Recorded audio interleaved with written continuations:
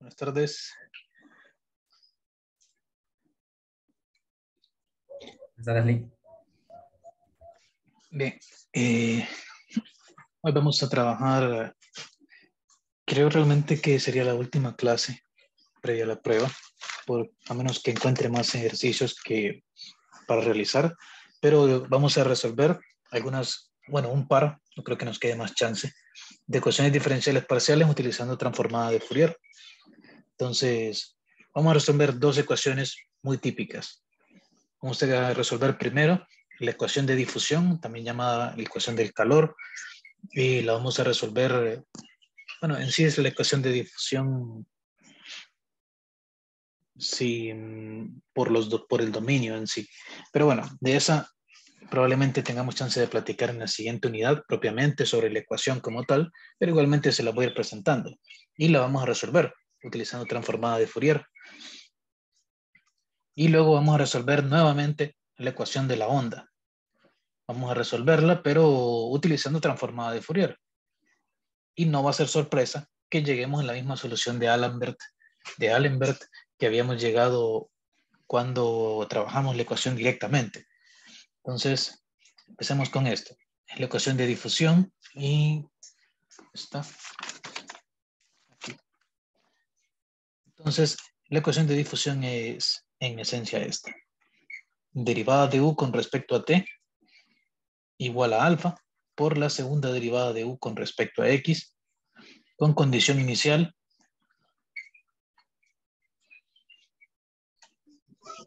u de x, 0 igual a g de x. Entonces, ya, con eso vamos a resolverlo. Entonces, la estrategia para resolverla la platicamos ayer brevemente. Y es, primero vamos a aplicar transformada de Fourier con respecto a variables espaciales, en este caso solamente con respecto a la variable x.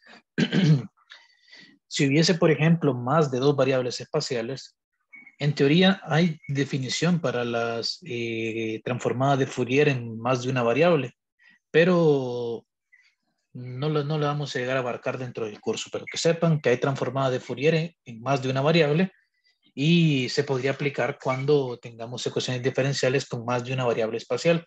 Pero bueno, volvamos al, ejercicio. Aplicamos transformada de Fourier. en la variable espacial x. Entonces la transformada de, eh, bueno, vamos a escribirlo así. La transformada de la derivada de u con respecto a t como esta transformada es respecto a x, incluso valdría la pena quizás colocarle un símbolo aquí. Como esta transformada es con respecto a x, en teoría, mmm, esto sería lo mismo que decir la derivada con respecto a t de la transformada de u. Se puede demostrar propiamente con la definición de transformada de Fourier, sacándola al parcial, de, bueno, de hecho, este es una parcial. Sacando la parcial de u con respecto a t y del integral porque se y explicar por qué se podría, se podría justificar. Pero al final de cuentas, eh, lo que tenemos nosotros es que la transformada de ut, perdón, era así. La transformada de ut es simplemente la parcial con respecto a t de la transformada. Y eso de regla general cuando sean eh, derivadas respecto a t. Entonces, la transformada de, la transformada de ut nos quedaría transformada de u con respecto a t, derivada con respecto a t, igual a alfa por la segunda derivada de u con respecto a x. La transformada de una derivada, tenemos la fórmula vista en las últimas clases, específicamente es IK elevado al orden de la derivada, en este caso 2, multiplicado por la transformada de la función, en este caso transformada de u. Y también tenemos que aplicar la transformada de Fourier a las condiciones iniciales. Entonces nos quedaría la transformada de u evaluada en K, 0, nos quedaría la transformada de G.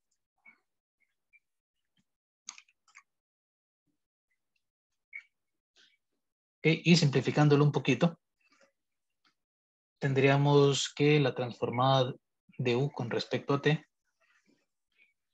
es igual a alfa, bueno, menos alfa por K cuadrado por la transformada de U y la condición inicial.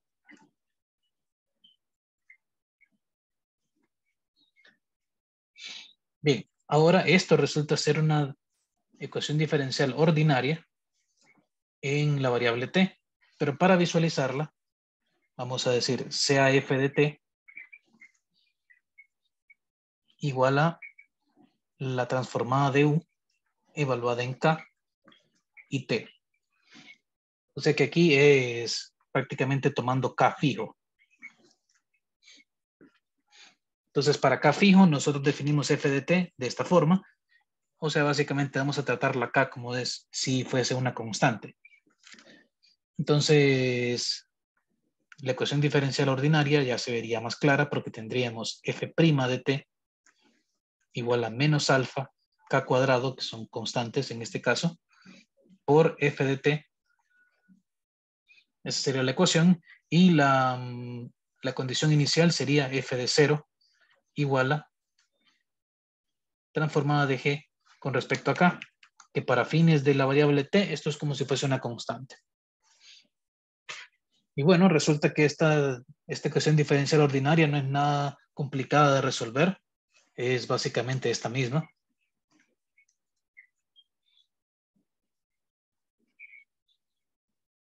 Voy, a cambiar la letra para que no se vea. Así voy a poner gamma por y. Y pues la solución de esto es una exponencial. y de t es igual a e a la gamma por t por una constante. Entonces la solución de la solución de la EDO nos quedaría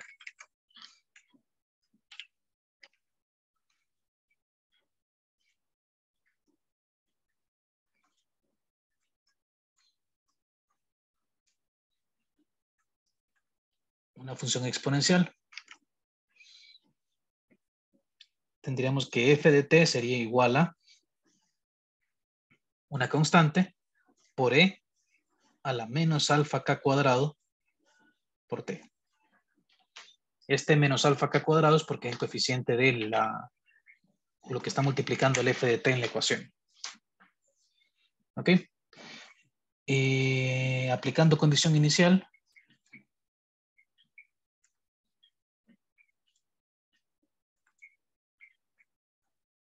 Tenemos nosotros que f de 0 ese nos quedaría C por evaluación directa y por condición inicial nos quedaría transformada de G evaluada en K.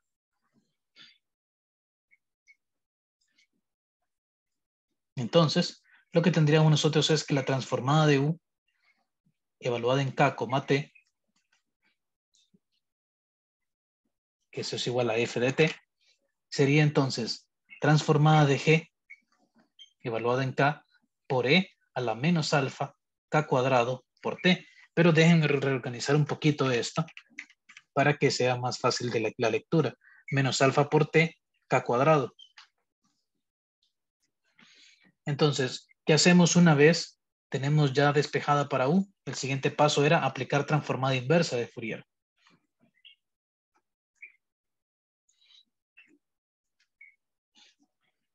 O transformada de Fourier inversa. Entonces, la transformada inversa de la transformada es directamente U en X, T. Y la transformada inversa de un producto es una convolución. Entonces, el resultado va a ser la convolución de... voy a escribirlo así. La convolución de la transformada inversa de G y la transformada inversa de este, de este exponencial. Afortunadamente, G es una función a la cual se le hizo una transformada, por lo tanto, aquí se nos pediría la transformada inversa de la transformada de G, entonces nos quedaría solamente G. Convolución con la transformada inversa de Fourier de E a la menos alfa T K cuadrado y obviamente evaluado en X. esta, esta convolución, claro está que la convolución es con respecto a x. Porque estas funciones las estamos viendo como funciones de k. Y este t viene a ser como una especie de parámetro que aparece por ahí. Pero al final de cuentas, pues, eh, ahí, ahí nos va a quedar. Entonces, la convolución ya sabemos cómo hacerla, lo que nos falta es calcular esta transformada inversa. Entonces voy a aprovechar para traer las, las tablitas que teníamos ayer. Entonces, hoy el día de hoy vamos a ocupar esta.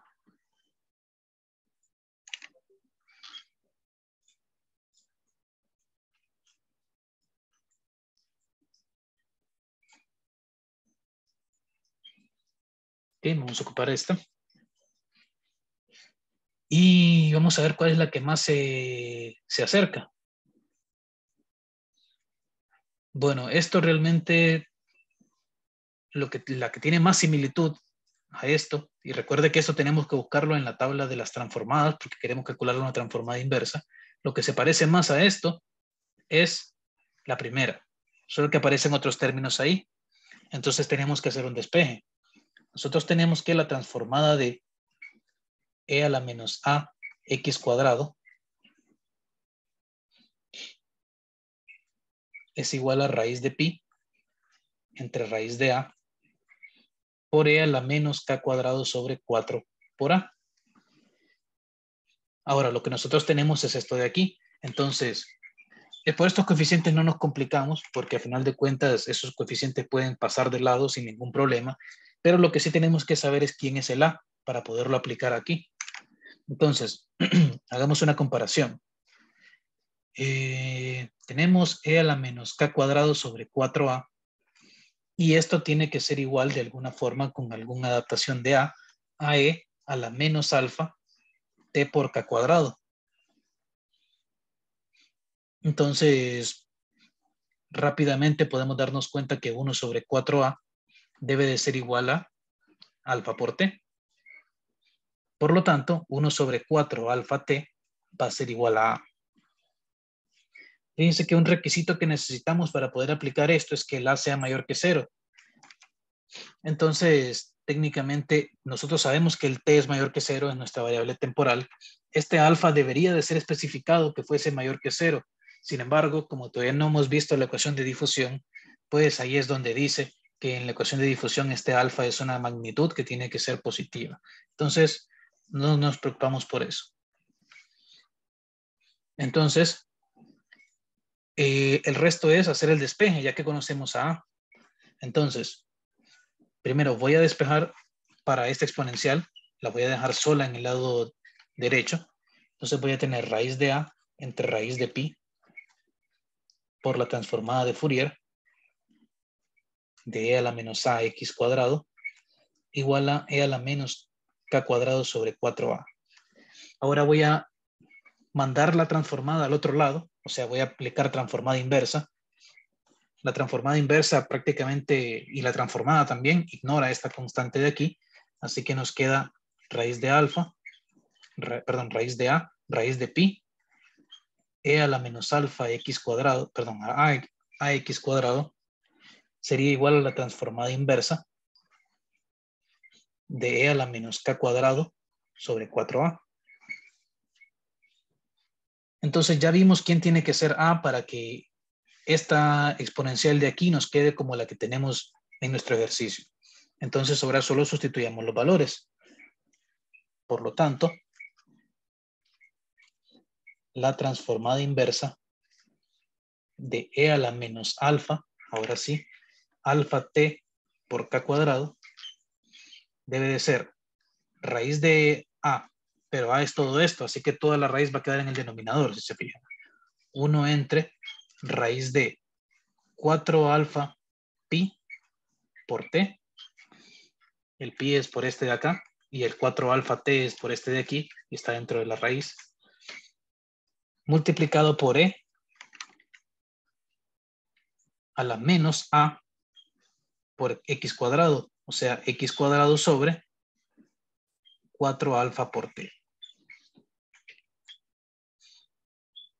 Entonces ya tengo cuál es la transformada inversa de esto. Entonces ya puedo calcular quién es U porque puedo hacer esta convolución o al menos dejarla expresada. Entonces, U de X, T nos quedaría la convolución, o sea, la integral desde menos infinito a más infinito de esta, la convolución entre esta G y esto. Entonces, para que no nos quede un G de X menos Y, vamos a hacer eh, que esta función de aquí tenga el X menos Y. Entonces vamos a tener 1 sobre raíz de 4 alfa pi por T multiplicado por E a la menos X menos Y al cuadrado entre 4 alfa por T multiplicado por G de Y diferencial de Y. ¿Ok? Entonces, fíjense una cosa. En la convolución, como aquí tenemos funciones de dos variables, aquí esta G aparentemente solo depende de una variable y esta, eh, esta transformada inversa en sí depende de X y de T para saber con respecto a qué se hace la, la convolución, eso lo dicta la variable que está acá afuera. Entonces, por eso aquí yo hago, el x, eh, hago x menos y en lugar de hacer t menos y. Porque la convolución es con respecto a x. ¿Ok? Entonces, así nos quedaría. Lo más que podríamos hacer es sacar ese término que realmente es una constante, así que no, no hace falta tenerlo dentro del integral. Y si nos ponemos quisquillosos, pues también podemos sacar el 2 de la raíz. Y nos queda así.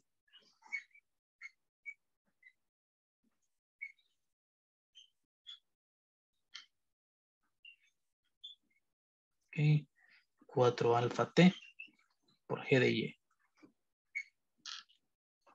Esa sería la solución.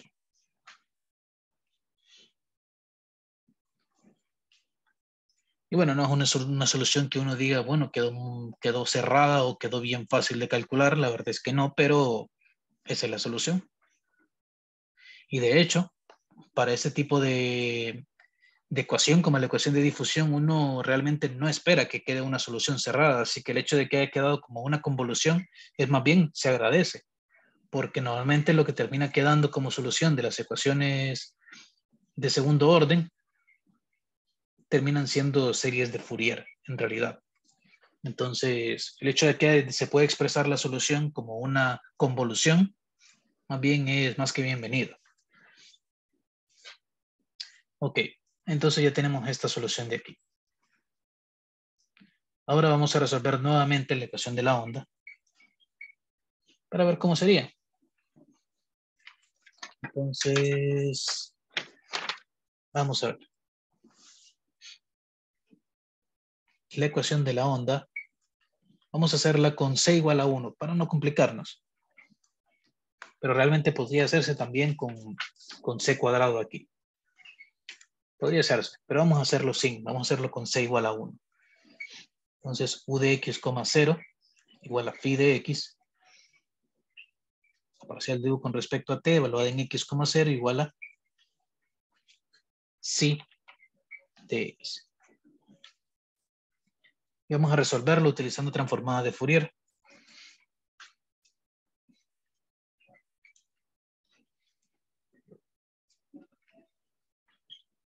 Bien, entonces eh, primero aplicamos transformada de Fourier.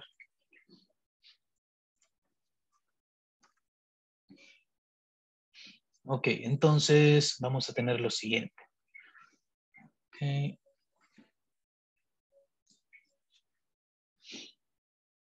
Esta, esta derivada que es con respecto a t, la transformada de Fourier no le va a hacer prácticamente nada. Vamos a tener la transformada de u derivada dos veces con respecto a t.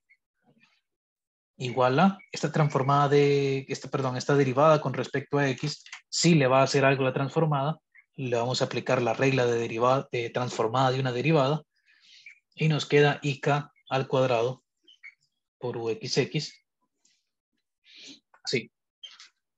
Esa es la eh, ecuación diferencial parcial. Le aplicamos la condición, eh, la transformada de Fourier, las condiciones iniciales. Nos queda transformada en k, 0 igual a la transformada de phi. Y la transformada de u con respecto a t, evaluada en k, 0, nos queda la transformada de sí.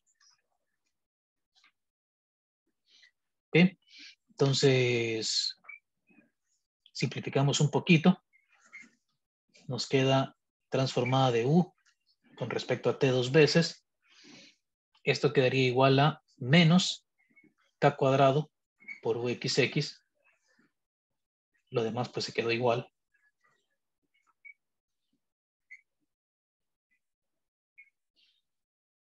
Así que tendríamos esto.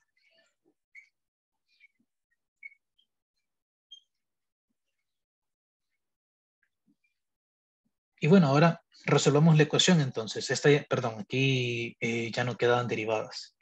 Solo copié el uxx, pero en realidad era transformada de u. Una vez aplica la transformada con respecto a x, entonces ya no quedan derivadas con respecto a x. Ok, entonces esto nos queda una ecuación diferencial ordinaria. Entonces,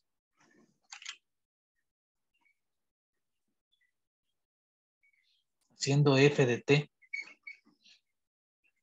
igual a la, transformada evaluada en k, t, nos queda la siguiente EDO.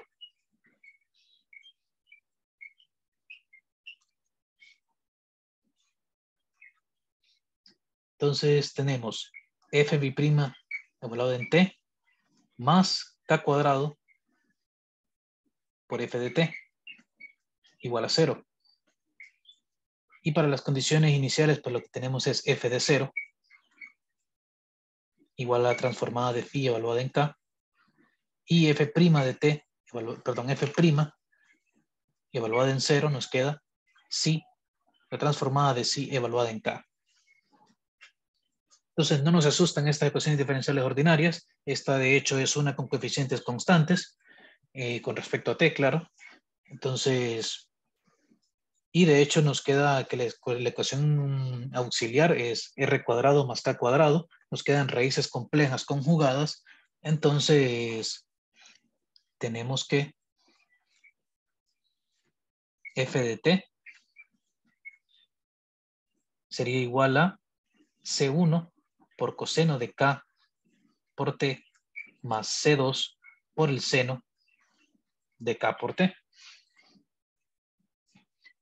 Bien, aplicamos condiciones iniciales.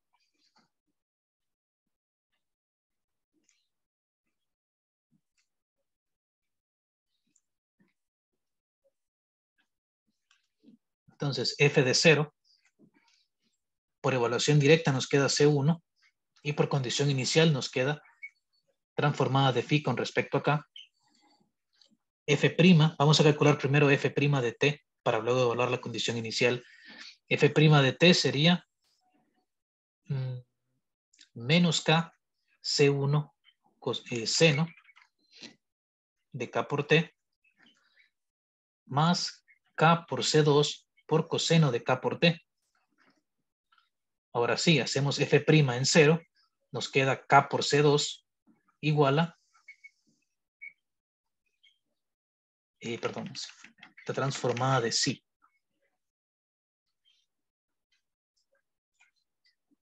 De aquí podemos concluir que C2 sería igual a la transformada de sí sobre K.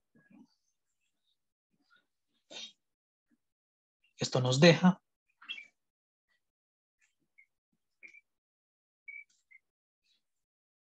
que f, que, que, en un inicio era la transformada de u evaluada en k, t, sería la transformada de phi evaluada en k por coseno de k por t más c2, que es la transformada de psi con respecto a, eh, perdón, con transformada de psi evaluada en k y voy a agrupar convenientemente el seno de K por T con este K que estaba dividiendo. Entonces, ¿ahora qué nos toca? Nos toca calcular transformadas inversas. Entonces, aplicando transformada de Fourier inversa, nos queda u de x, t igual a, vamos a ver, tengo aquí una suma de funciones. La transformada de Fourier es un operador lineal. Entonces, lo que voy a tener es la suma de transformadas inversas de los dos términos. Entonces voy a tener una suma de dos cosas. El primer término es una multiplicación de dos funciones en K. o sea, la multiplicación de dos funciones en el dominio o en el espacio de Fourier. Y la transformada inversa de un producto es una convolución.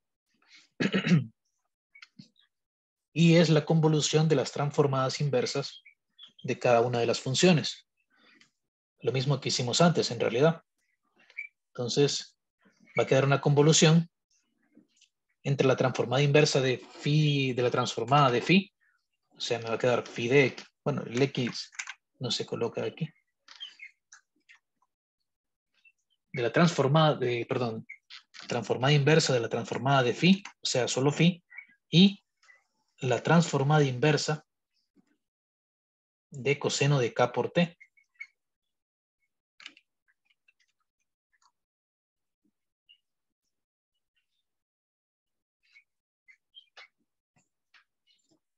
Ok, entonces esa es la primera. No hace falta desarrollarlo, pero esa sería la primera parte.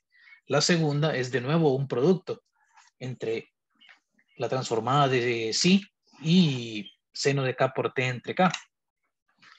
Entonces, esto me va a quedar de nuevo una convolución. La convolución de entre la transformada inversa de esta función, que es la transformada de sí, así que me queda solamente sí, convolución con la transformada inversa de seno de K por T sobre K.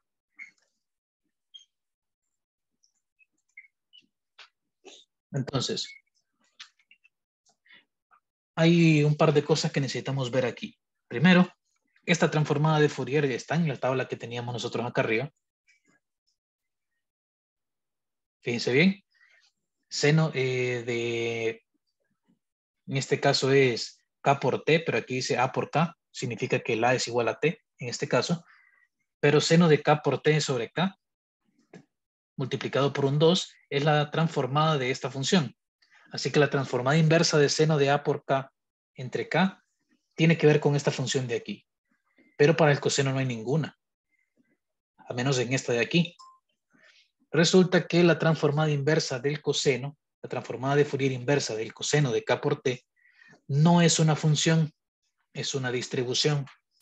Pero bueno, como yo no, no quiero que nos agobiemos tanto con entrar en detalle con distribuciones, por eso no entré en cómo se define una transformada de una distribución, pero sí tenemos esta pequeña tablita que la podemos utilizar como tabla de transformadas y de transformadas inversas, que nos puede ser útil y de hecho nos sirve para este ejercicio.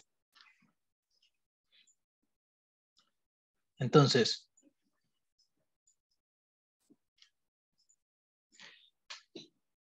tenemos la siguiente tabla de transformadas de distribuciones. La transformada de 1 es igual a 2pi por la delta de Dirac centrada en 0. La transformada de la, de la delta de Dirac es igual a 1. Y así con todas las demás. Pero la que nos interesa aquí es esta. Resulta que el coseno de k por algo es la transformada de Fourier de esta suma de aquí de, la delta de Dirac centrada en A más la delta de Dirac centrada en negativo A entre 2. Entonces podemos hacer algo por ahí. ¿Ok? Entonces, vamos a ver. Primero, la transformada inversa de coseno de K por T. A ver, sería entonces la delta de Dirac concentrada en T más la delta de Dirac concentrada en menos T entre 2. A manera de recordatorio, recuerde que delta sub al, mm, vamos a decir esto, aunque no es una función, pero solo para recordar, va a ser 0 cuando x sea distinto de a y va a ser infinito cuando x valga a. Esa era la noción intuitiva de la función delta de Dirac, solo para que lo recordemos. Ok, entonces la transformada inversa de coseno es esto de aquí. Y la transformada inversa de seno de K por T, perdón, entre K, vamos a ocupar esta de acá arriba, así que permítame copiarla para no estar subiendo. Ups. Voy a ponerla por aquí. La transformada inversa de seno de K por T sobre K Aquí está multiplicada por un 2, así que ese 2 lo voy a tener que pasar a dividir al, otro lado. Entonces me va a quedar un medio de esta función que es como una chi con subíndice A. El A es el coeficiente del, K en el seno. De, en el seno. Entonces es, sería un chi sub T. Eh, evaluado en, en, ¿cómo se llama? en X.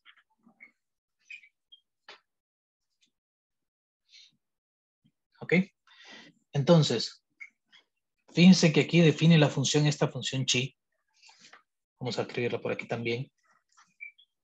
Chi sub t evaluado en X es una función que es igual a 1 cuando el valor absoluto de X es menor igual, perdón, menor estricto que t. Y es igual a 0 cuando el valor absoluto de X es mayor o igual que t. O sea que esta función gráficamente es más o menos así. Es 0. Aquí en menos t salta a 1. Bueno, de hecho aquí va cerrado. Aquí va abierto. Salta a 1. Y aquí en t vuelve a ser 0. La función es algo así. Entonces la transformada inversa de seno de k por t sobre k es un medio de esta función. Que básicamente un medio de esta función es reducir esta altura a la mitad. Pero bueno. Quedémonos con eso. Ahora, tenemos estas transformadas inversas, pero nos falta hacer la convolución. Vamos a hacer primero la convolución de esta parte de aquí, porque esta no tiene esta delta de de Dirac que son un poquito más, mm, o las hemos trabajado un poquito menos. Entonces, vamos a hacer primero las de la derecha. Tenemos entonces que la convolución de sí con un medio de esta función no de hecho la dependencia de x la obviamos, de un medio de xi sub t evaluado en x sería la integral de menos infinito a más infinito de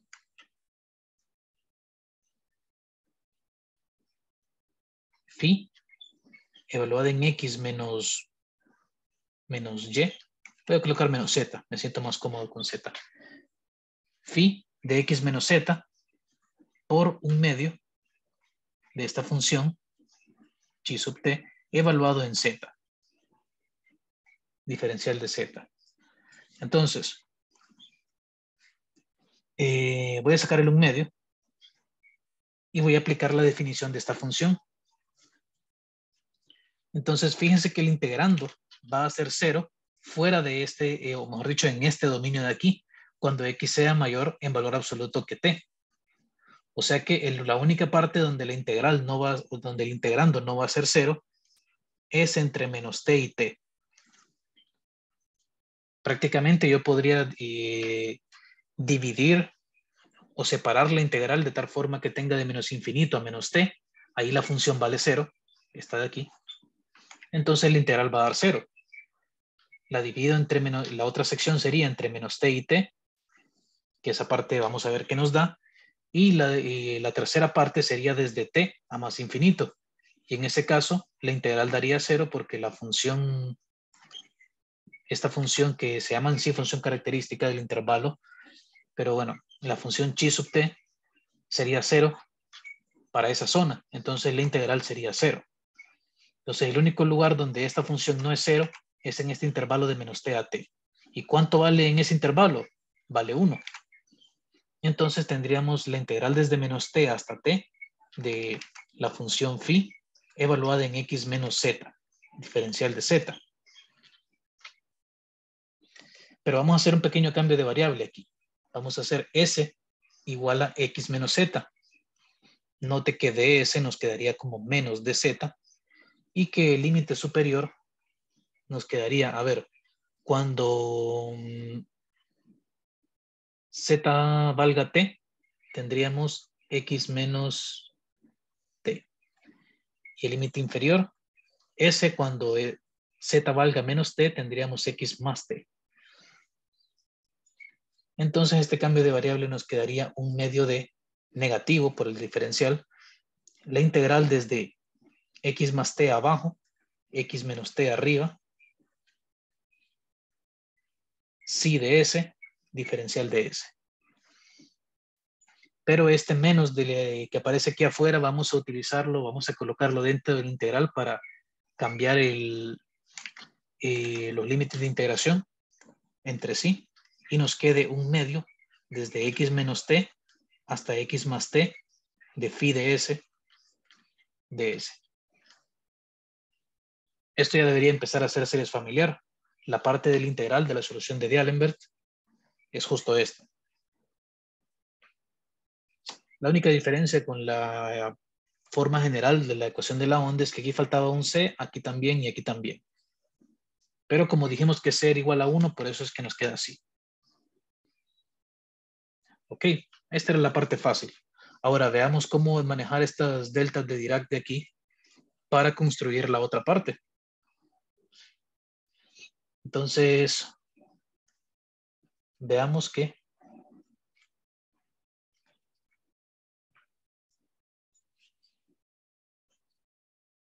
la convolución que nos hace falta hacer es la de phi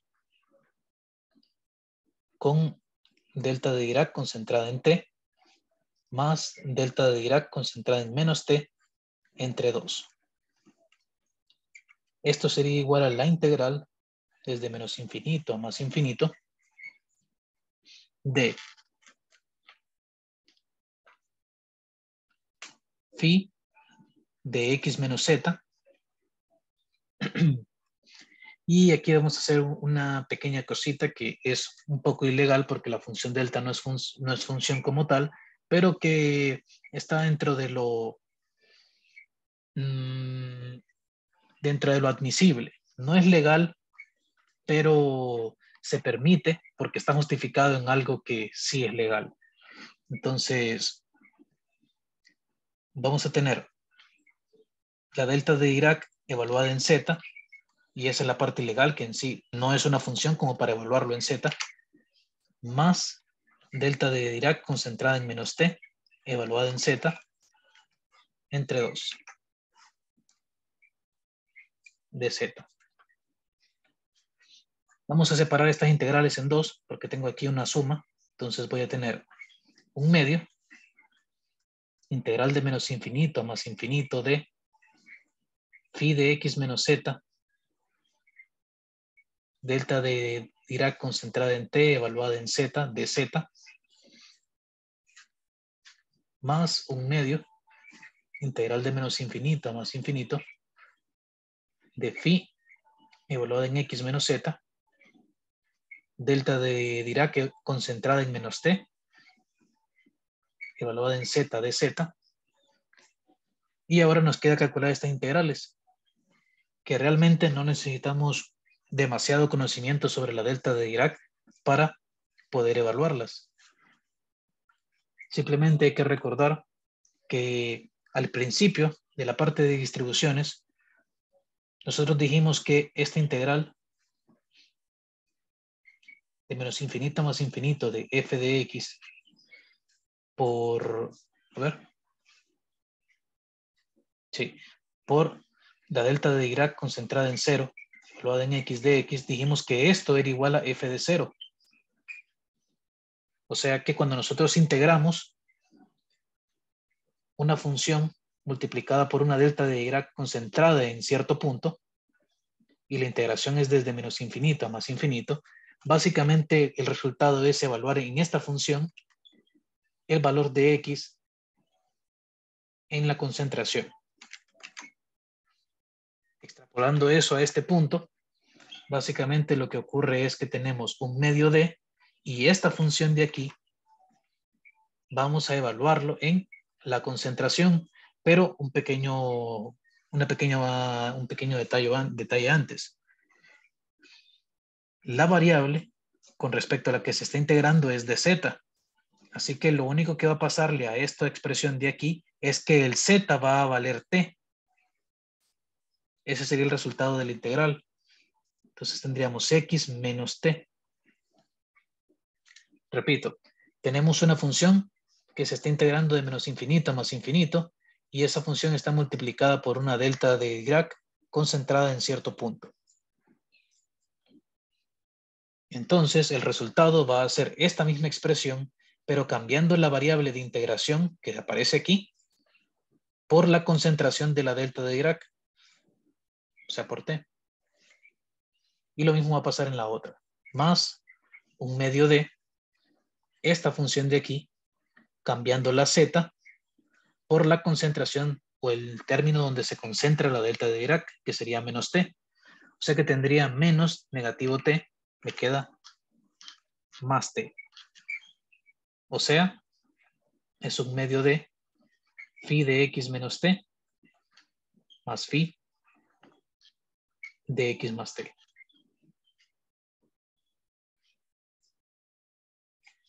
Finalmente, unimos las dos partes y nos queda que u de x, t es este término, un medio de phi de x menos t más phi de x más t, más el término que nos dio de la otra convolución, que es un medio de la integral desde x menos t hasta x más t de psi de s de s que es literalmente la misma solución de la, eh, la misma solución de D'Alembert para la ecuación de la onda con C igual a 1. Entonces, ahí está. La verdad, eh, dependiendo cómo uno se ponga a verlo, parece sorprendente que haya dado lo mismo después de todo lo que se tuvo que hacer pero al final de cuentas nosotros sabíamos que la solución de la ecuación de la onda era única. Así que por ese sentido tampoco sorprende que nos haya dado lo mismo, pero sí sorprende que aún haciendo todo este análisis, llegamos a la misma solución de una vía muy diferente.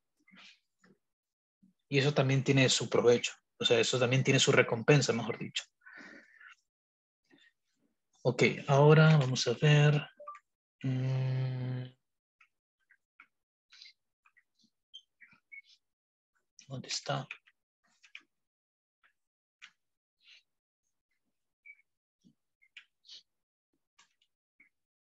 Mm.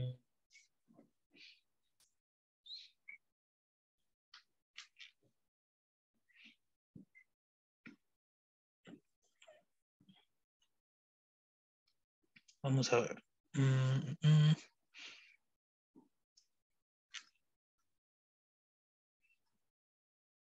Bueno, hay tres ecuaciones que creo que todas quedaron como tarea, creo, pero si no, se las vuelvo a escribir aquí para que las vayan intentando porque podrían ser, tal vez alguna aparece como potencial ejercicio de, de examen utilizando este enfoque de acá. Entonces, obviamente hay que dar las condiciones iniciales, entonces esas pueden quedar en general, pero voy a describirlo así. Podría utilizarse este método, este método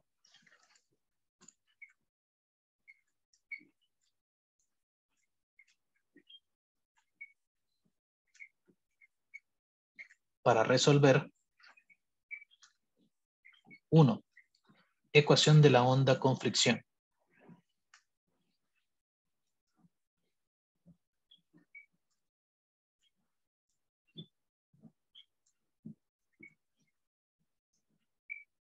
Que es una modificación en la ecuación diferencial parcial en la que tenemos que UTT más eh, más alfa UT igual a C cuadrado por UXX con alfa mayor que cero. Esta ecuación se puede resolver utilizando el enfoque que vimos aquí. Obviamente hay que darle condiciones iniciales, pero pueden usar las mismas que hicimos aquí. O de mm, las condiciones de phi y de psi. Pueden usar las mismas. Otra ecuación que se puede resolver es la ecuación del telégrafo.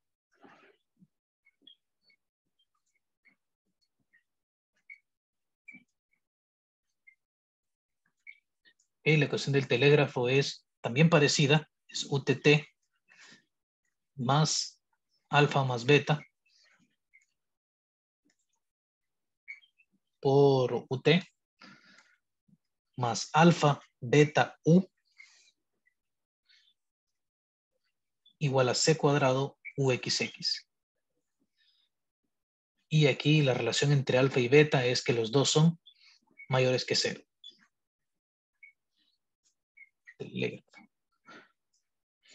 Esta también se puede resolver.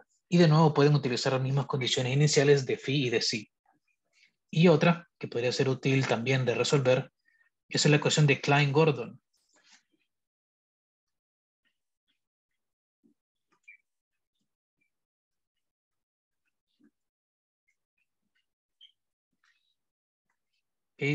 que es la constante de Planck reducida al cuadrado UTT menos la constante de Planck reducida al cuadrado por C cuadrado por UXX más M cuadrado C a la 4 por U igual 0. Entonces, esta H con una línea aquí es simplemente la constante de Planck, que se denota por H, reducida sea, dividida entre 2pi.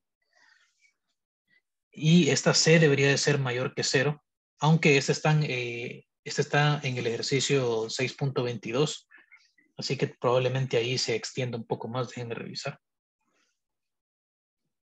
Mm, sí, sí, estas C y M son constantes positivas. Entonces, estas tres ecuaciones pueden resolverse utilizando este enfoque de la transformada de Fourier. Entonces, podría ser un buen ejercicio para practicar resolverlas. Creo yo, deberían de estar en la tarea, pero si no, si se me escapó, entonces ahí están. Se los recomiendo. Y bien, eh, eso básicamente culminaría nuestro estudio de transformada de Fourier.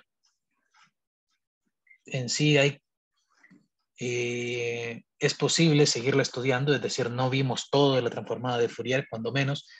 No vimos, por ejemplo, transformadas de Fourier de orden 2 o de orden 3, es decir, para más de varias, para varias variables. Pero si les interesa el tema, igualmente lo pueden seguir estudiando ya por cuenta individual porque necesitamos avanzar en el resto de contenidos. Entonces, pero no sé si hay alguna pregunta o duda que tengan que al respecto de, de este tema.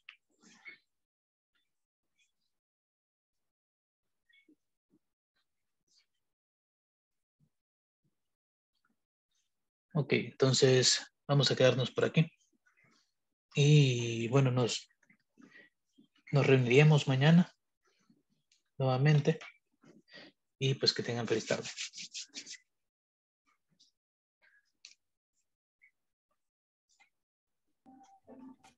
Listo, gracias, Lee. Están.